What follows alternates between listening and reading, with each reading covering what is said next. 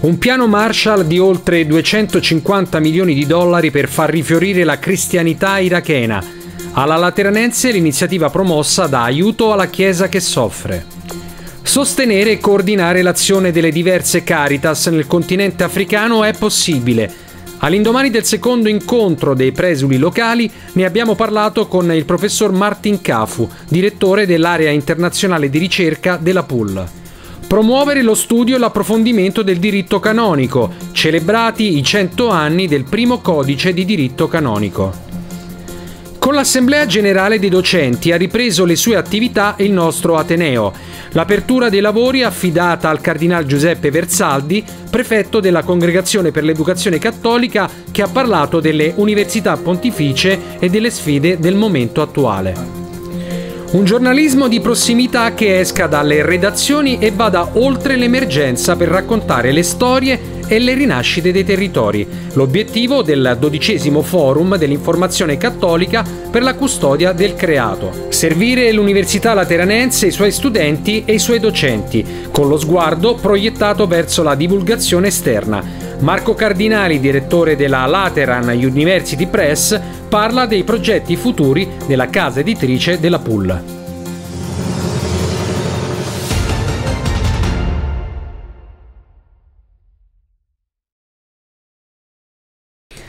Ben ritrovati nel nostro spazio informativo della Lateran TV. Lo avete sentito dai titoli di apertura nei giorni scorsi, nell'aula più undecimo della pool si è tenuta la conferenza internazionale intitolata Iraq, ritorno alle radici.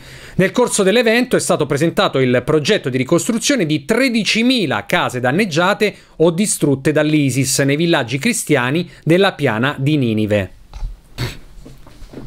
Si tratta di un vero e proprio piano Marshall, il cui costo stimato è di oltre 250 milioni di dollari e il cui scopo è riportare le famiglie cristiane di quell'area nelle loro abitazioni abbandonate a seguito dell'aggressione dei jihadisti.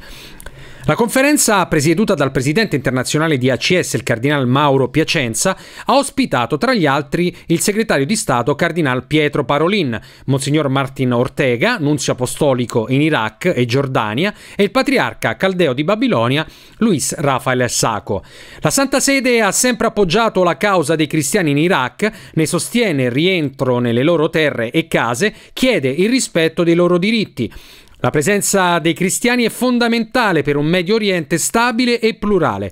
Purtroppo tale presenza diminuisce progressivamente a causa di coloro che partono in cerca di un futuro migliore. Lo ha detto il segretario di Stato, Cardinal Parolin, aggiungendo che i conflitti degli ultimi anni stanno mettendo a rischio la presenza dei cristiani come luogo di convivenza di popoli, di etnie e di fedi diverse. Cambiamo argomento, si è concluso con un rinnovato impegno a sostenere e coordinare l'azione delle diverse Caritas il secondo incontro dei vescovi dell'Africa, ad esse dedicato e incentrato sul tema organizzare il servizio della carità in Africa. Il ruolo ovviamente è quello dei vescovi, importante. Il eh, simposio si è chiuso nei giorni scorsi proprio a Dakar, siamo in Senegal. La nostra Chiara Tranquilli ne ha parlato con il professor Martin Cafu che è il direttore dell'area internazionale di ricerca SISCA. La Caritas diventa per la, per la Chiesa in Africa lo strumento, l'amico di, di, tutti i giorni, di, di, tutti i poveri, cosiddetti poveri o resi tali, ma eh, la, quali sono le misure che loro prendono, quali sono da, prima le cause, dove stanno queste crisi, no, bisogna anche fare questo. Le crisi sono tanti, non chiamiamole le crisi per modo di dire, ci sono diverse situazioni in cui vivono le popolazioni che mm, da una parte può chiamarli povertà, da un'altra può essere mancanza o sottosviluppo, quello che volete voi. Cominciamo l'educazione, la prima delle cose. Le persone sono educate o no? Tante scuole, 80% della formazione del cittadino africano è in mano alla Chiesa. Chiesa Cattolica, perciò non è poco questo. Perciò l'educazione è appunto primaria. Con l'educazione si sconfiggono tutte le altre eventuali crisi quando ci saranno. Secondo, la salute. La salute. Chi non sta bene non, non pensa, non può vivere. E ci sono tante cause della malattia. Uno, mancanza di acqua potabile, dicono che 70-80% delle malattie vengono dall'acqua non potabile, quindi è un problema. L'energia, l'Africa ha sole, ha tutto. Basterebbe un'energia solare per risanare tutta la situazione di tutti, ma non ce l'hanno. Poca gente ha accesso alla luce elettrica. Il cibo, l'alimentare. L'Africa è una miniera di bene naturale. Diciamo. L'agricoltura è il tutto per l'Africa. Chi non produce l'equatore e l'acqua subsahariana è proprio l'Africa della produzione alimentare, dell'agricoltura.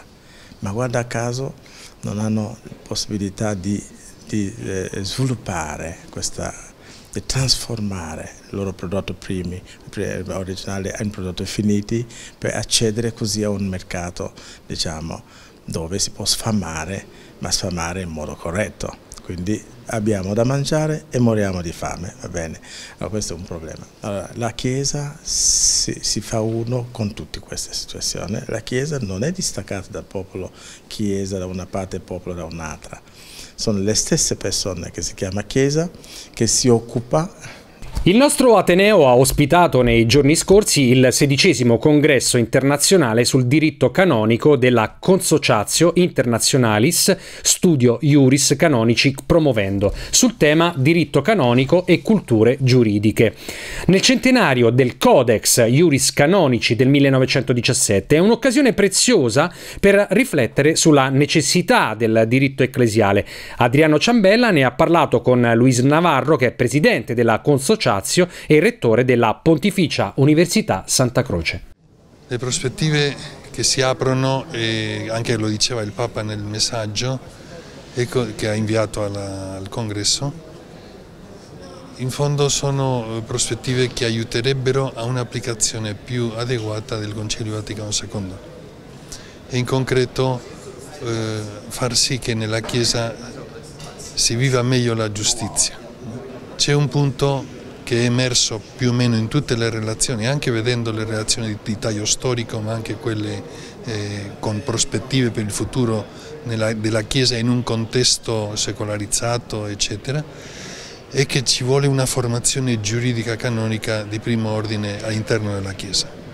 Se quella formazione è garantita ai fedeli, ai pastori, la Chiesa diventerà veramente uno specchio di giustizia per, per, tutto il mondo, sarà un modello di giustizia per tutto il mondo e penso che sia una sfida molto bella che vale la pena cogliere. Con l'Assemblea Generale dei Docenti ha ripreso le sue attività alla Pontificia Università Lateranense alla presenza del Cardinal Giuseppe Versaldi, che è prefetto della Congregazione per l'Educazione Cattolica.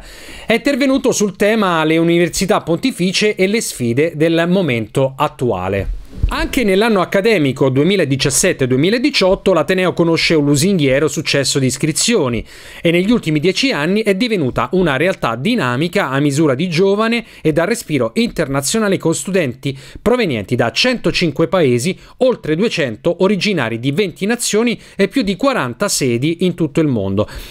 Da sempre infatti la Lateranense si è distinta per il suo impegno nella ricerca e nella formazione teologico-filosofica e delle scienze canonistiche, ma costituisce soprattutto un unicum tra gli Atenei pontifici romani per la sua facoltà di diritto civile. A questo si aggiungono le molteplici iniziative e i progetti che solo nell'ultimo anno hanno consentito a più di 200 giovani di viaggiare in tutto il mondo. 12 per lui, il primo Erasmus della fede che ha permesso ad alcuni di loro di raggiungere le periferie del mondo e di confrontarsi con culture e situazioni sociali diverse. Poi c'è la Summer School, in paesi esteri come l'Australia, il Cile, l'Argentina, oltre che lo studio e approfondimento delle lingue straniere in Inghilterra, Francia, Spagna ed Emirati Arabi Uniti. Durante l'assemblea sono stati presentati i nuovi statuti della Lateranense approvati dalla Congregazione per l'Educazione Cattolica il 6 giugno del 2017. I nuovi statuti giungono al termine di un lungo cammino iniziato da Monsignor Rino Fisichella e proseguito e concluso grazie allo straordinario impegno di Monsignor Enrico Dalcovolo. Iniziare a fare sempre di più un giornalismo di prossimità che esca dalle redazioni e vada oltre l'emergenza per raccontare le storie e le rinascite dei territori. È questo l'obiettivo del dodicesimo forum dell'informazione cattolica per la custodia del creato promosso dall'associazione culturale Green Accord Ollus. Si è svolto a Gubbio in occasione della giornata mondiale del creato e la nostra Marina Tomarro ne ha parlato con il presidente Alfonso Cauteruccio. Ascoltiamo. Cosa vuole raccontare questo dodicesimo forum? Forum si inserisce nella giornata nazionale del creato, quindi fare in modo che il nostro, il nostro muoverci, il nostro cammino sia sempre più in sintonia anche con il creato, con i luoghi che attraversiamo, con coloro che ci vivono. Viaggiatori e pellegrini sulla Terra, cosa vuol dire questo dodicesimo forum? 80 giornalisti provenienti da tutta Italia qui a Gubbio per riflettere sul tema eh, del viaggio, del cammino. Eh, innanzitutto eh, la comunicazione post-emergenza e, del, diciamo così, e di prossimità e poi per riflettere proprio sul tema del cammino e del turismo sostenibile, per rendere sempre di più i camminatori dei veri e propri viaggiatori e non turisti, gente capace di interagire con il territorio, di saperne cogliere l'essenza, di saper vivere in sintonia e in armonia anche con il creato. In questo caso si parla di un giornalismo itinerante che non è dietro le scrivanie di una redazione. Ecco, allora che cosa vuol dire questo nuovo tipo di, di fare giornalismo, andare incontro alle persone?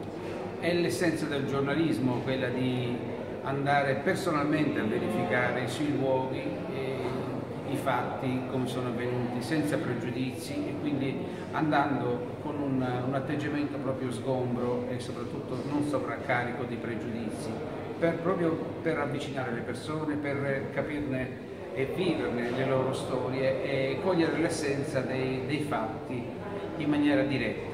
Nata ufficialmente nel 2001 per creare nuovi metodi di studio e di ricerca, la Lateran University Press è diventata negli anni un vero e proprio punto di riferimento. Presente e futuro della casa editrice nell'intervista realizzata da Adriano Bellucci con il direttore Marco Cardinali.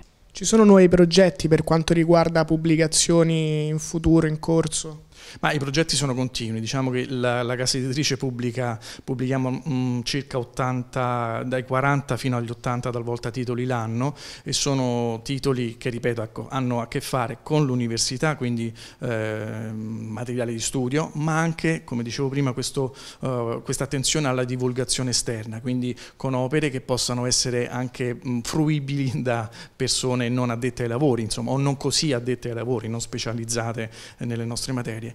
E quindi abbiamo creato anche le collane che possono essere di, di aiuto per tante tematiche eh, odierne, sfide culturali e religiose odierne, dibattiti mh, mm, che oggi sono importanti eh, per tutti quanti e anche um, collane che possano essere di, eh, non so, ad esempio di meditazione, di approfondimento anche eh, spirituale, questo è anche importante per noi che possa essere eh, di aiuto all'esterno.